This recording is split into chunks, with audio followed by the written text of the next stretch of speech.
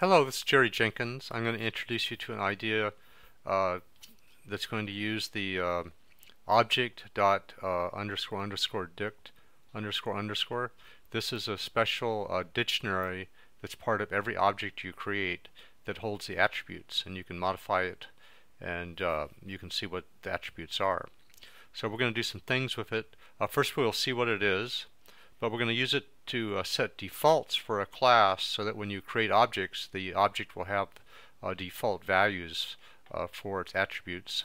We're going to look at a flexible constructor where you can provide a variable number of uh, parameters and the ones you don't provide will be set by the defaults set up in the class.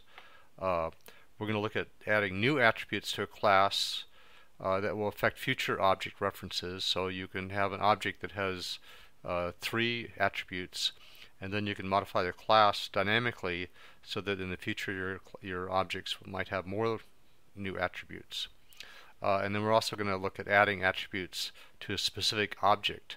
Now there's other ways of doing these things, uh, but this is all going to use the underscore underscore dict underscore underscore. So let's go to the first example. So this whole example we're going to using a point class. So here's a fairly standard point class. Uh, I declare a class called point. In the constructor I set two x and y value. So I set up two attributes.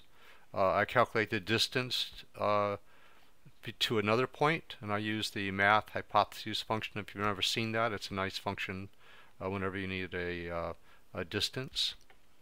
And then I'm going to run it and uh, create two points and print out the distance. And the way I've arranged the points I should get the square root of 2 so we'll run this and we do that. So so far everything's normal. Now let's uh, look at a little variation here. So all I've added here is in the test uh, I've printed out uh, P2 and I've also added a, a repr here. And this will create a string representation of my object.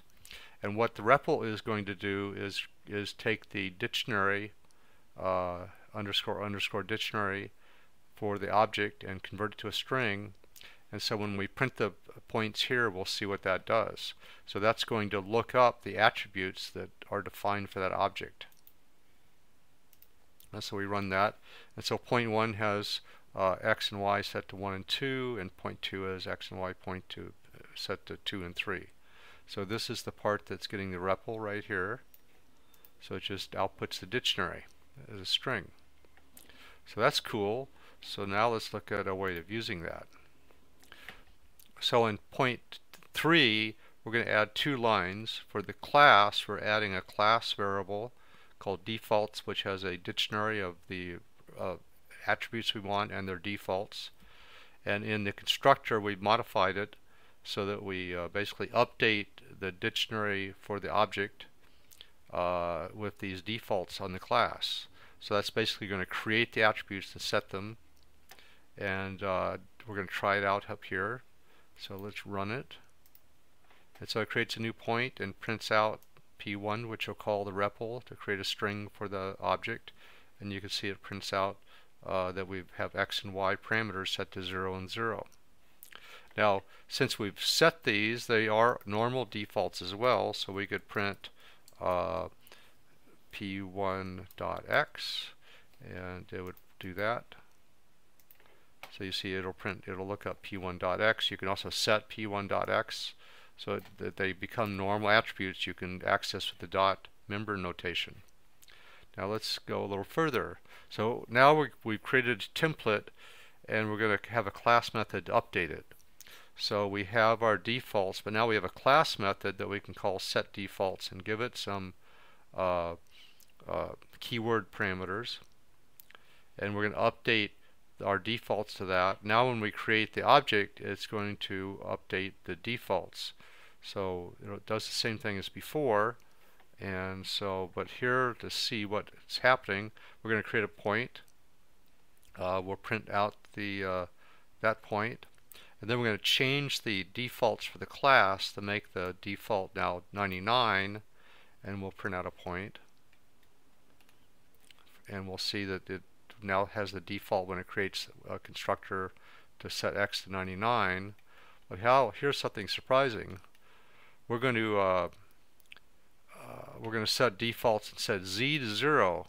That adds a new attribute to the objects we create from now on, which will have, so we'll have x, y, and z. We create a point and we print that out and we set z to 42 and print that out. So you'll see that now we have uh, x, y, and z objects. So let's run that. And you'll see that when we've added, uh, first we've changed the default so new points have x set to 99. And here we've changed the default to add z. And then we've set z to 0, 42, and you can see it's a normal attribute for the object now. So that's kind of cool. So now we're going to uh, do optional constructor parameters. So this is kind of optional. Uh, we rely on the fact that in th version 3.6 of Python and beyond, dictionaries retain the order of the keys. So when you get the keys, uh, it's in that order. So it's in the order X and Y.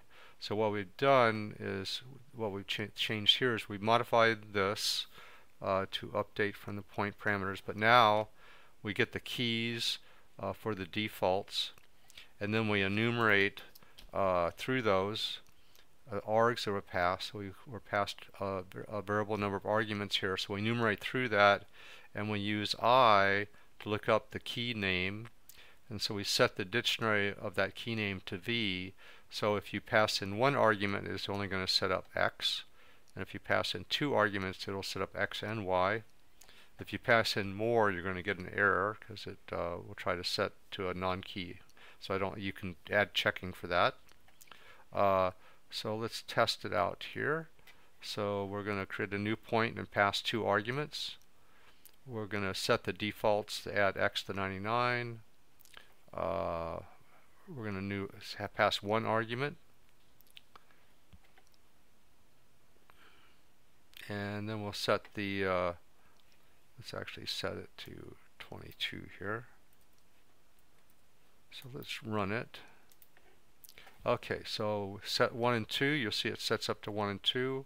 Set the defaults to 22, and then create a point that has 99, it sets it to 99.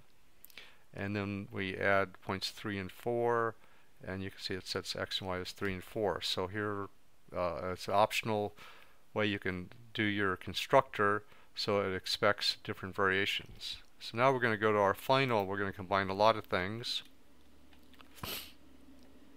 So what we've added here uh, is we take the the uh, we have we pass it args and keyword arguments. So it copies any uh, regular arguments to our things, but then it allows us to extend the attributes with any keyword arguments. So when we construct an object, we could say create a z attribute or a color attribute or any attribute we need. So we can dynamically create attributes when we create the object that are specific to that object. Uh, we've added a modify attribute so after you've created the objects you can you can add or change uh, the values of the attributes and then uh, that's basically it. So now we're going to do this. We're going to create a point, and it'll have uh, 1 and 2. So there's our, our arguments, and there's our, our uh, uh, named arguments. So we're going to create a z value and a label, and we'll print that point. And then we're going to modify the attributes and set z to 88 and the color to green, and we'll print that. So we'll see it does all that. And there you go. So I hope you enjoyed this video. Uh, if you like it, uh, go on to my YouTube channel and, and subscribe. And I'll also remind you at the, that, of that right at the end.